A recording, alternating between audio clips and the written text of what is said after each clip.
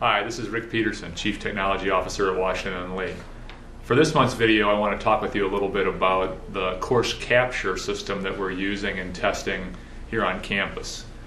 What the course capture system is, is a technology tool from a company called Tegrity, which allows us to capture audio, video, and digital um, information in a classroom setting. We have a few faculty, member here, faculty members here at Washington and Lee who are testing the system for us, and we're looking forward to getting their feedback and the feedback of students in how this tool is supporting teaching and learning on campus. At the end of this video, you'll have a chance to see some samples of what uh, this pilot looks like. So uh, enjoy those videos and enjoy the spring. Thanks.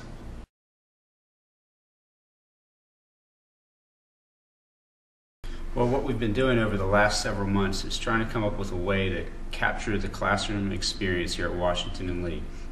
Um, we wanted to do that not with just audio or PowerPoint slides, but we wanted to get, capture the entire class, um, the entire experience. Uh, the professor, the video of the professor, his PowerPoint slides, any technology that he may use, the document camera, um, a tablet PC, or even the chalkboard. But then to do this in such a way that when the student reviews it, that they can see all these things happening at once. The talking head of the professor, the PowerPoint slides at the same time, or the chalkboard. So Todd, here we are at the workstation in DuPont 102, and tell us how you launch one of these classroom capture sessions.